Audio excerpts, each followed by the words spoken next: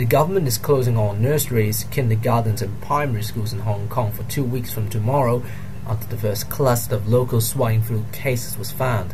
12 students in St. Paul's Convent School in Causeway Bay have tested positive for H1N1 viruses.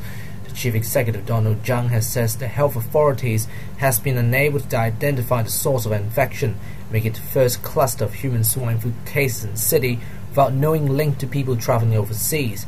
Mr. Tsang says the closing schools would slow the spread of virus. He says there's no need to panic, but urge people to remain alert to help combat the virus. The suspension will affect after some 1,800 primary schools, kindergartens, and nurseries. The government will decide on before June 23rd whether to resume classes. Secretary of Education Michael Suen says if classes cannot be restarted by June 10th, all schools will go into summer recess but he says special arrangements might have to be made for primary school 5 pupils who yet to assess for secondary school allocations. The Health Secretary York Chow says the government's focus is now shift on containing viruses into migrant infects.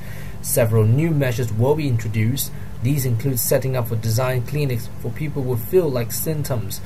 Both screening measures will remain in place by antiviral drugs Tamiflu were only given to patients who are confirmed to have swine flu and not those who may have been exposed to the virus. Ivan Lam, DHK News.